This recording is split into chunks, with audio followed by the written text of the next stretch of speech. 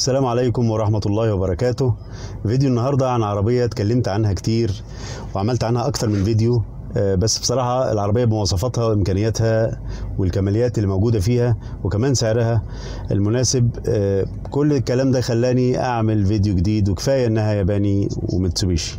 هنشرح في الفيديو ده مواصفات ميتسوبيشي لانسر آه، الملقبة بعيون صفية الجيل الرابع اللي من موديل 1988 لحد 1994 من المتوقع من لانسر في كل جيل جديد بتقوم بعمل تغيير كبير في عربياتها لكن الجيل ده أخد شهرة كبيرة في الوطن العربي وكان تقريبا أول ظهور كبير للانسر في الشرق الأوسط وبالأخص مصر والدليل آه، إن الموديل ده أخد لقب عيون صفية واتسمت بالاسم ده لأن المصابيح الأمامية بتاعتها آه، هم شايفين إنها بتشبه عيون الفنانة صفية العمري.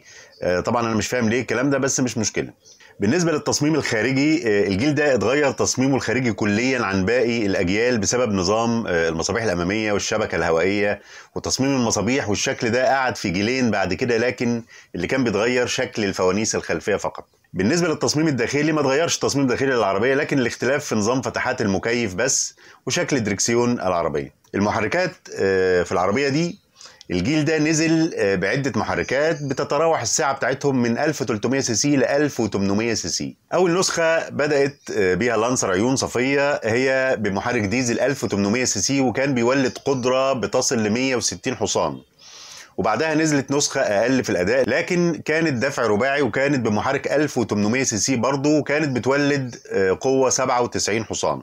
بعدها نزل المحرك بسعة 1600 سي سي وكان نازل في عربية مواصفاتها كالتالي العربية اللي هنتكلم عنها دلوقتي بدأ إنتاجها 1988 انتهى إنتاجها 1992 المحرك بتاعها كان احتراق داخلي آه، كانت سيدان وعدد أبوابها أربعة ومقاعدها خمسة. آه، استهلاك الوقود كانت بتعمل 15 لتر لكل 100 كيلومتر مقطوعة. سرعتها القصوى كانت 215 كيلومتر في الساعة. قدرة المحرك ده كانت 160 حصان وعزم دورانه 221 نيوتن متر.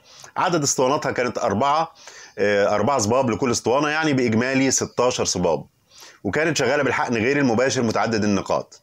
مساحة الشنطة الخلفية كانت 337 لتر وسعة خزان الوقود كان 50 لتر. أبعاد العربية دي كان طول 4 متر 20 سنتي عرض متر 60 سنتي ارتفاع متر 40 سنتي وبالنسبة آه، لنظام الدفع كان رباعي 4x4 ونوع نقل الحركة كان يدوي وعدد تروسه خمسة. فراملها الأمامية والخلفية كانت ديسكات وفيها نظام مساعد فرامل ABS والدركسيون بتاعها كان نازل power.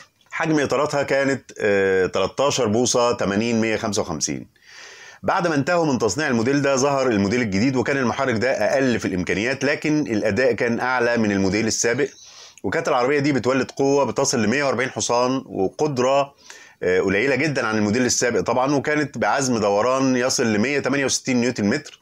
وزادت سرعة العربية دي عشان تبقى 240 كيلومتر ساعة.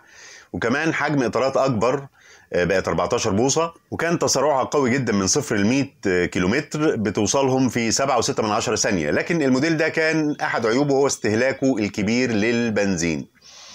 ظهرت إصدارات كتيرة من الجيل ده وكانت الاختلافات في المحرك والأداء. المواصفات اللي نزلت في الوطن العربي كانت أول عربية نزلت من الجيل ده في الوطن العربي سنة 1991 وأعجب بيها الناس جدا وكانت نازلة بمحرك مش قوي بسعة 1300 سي سي. ودي اللي موجودة في مصر. وهنتكلم آه، عن مواصفاتها الأساسية.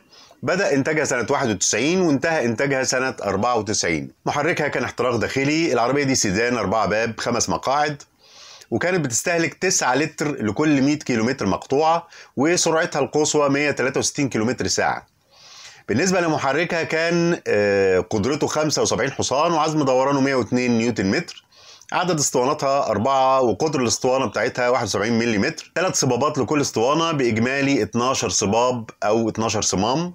والعربية دي كانت كاربراتير. الوزن الكلي كان 1465 كيلو جرام وحمولتها القصوى 585 كيلو جرام آه، مساحة صندوق العربية هو هو زي اللي فاتت 337 لتر وسعة خزان الوقود برضو 50 لتر. العربية كان طولها 4 متر 20 سنتي عرضها متر 60 سنتي ارتفاعها متر 40 سنتي ونظام آه، الدفع بتاعها دفع أمامي اي سي اي نقل الحركة بتاعها يدوي وعدد تروسه خمسة وفراملها كانت آه، الأمامية ديسكات والخلفية drum. مفيش نظام مساعد فرامل ABS والدركسيون بتاعها كان power وحجم إطاراتها كانت 12 بوصة آه، 80 155 هي دي مواصفات الموديلات اللي نزلت للشرق الأوسط وطبعا الكماليات وبعض المواصفات بتختلف من دولة لدولة على حسب المستورد أو ما يسمى بالوكيل لأن طبعا الوكيل هو اللي بيحدد مواصفات وكماليات العربية اللي بيستوردها. لو استفدت من الفيديو دوس like ولو عاوز تعرف أكتر عن العربيات ريفيوهات ومقارنات وأسعار اشترك في القناة وفعل زر الجرس عشان تعرف أول ما ينزل فيديو جديد. وفي نهاية الفيديو أتمنى يكون مفيد وأشكركم لحسن المتابعة والسلام عليكم ورحمة الله وبركاته. إذا أعجبك الفيديو لا تنسى المشاركة والاشتراك بالقناة ليصلك كل جديد.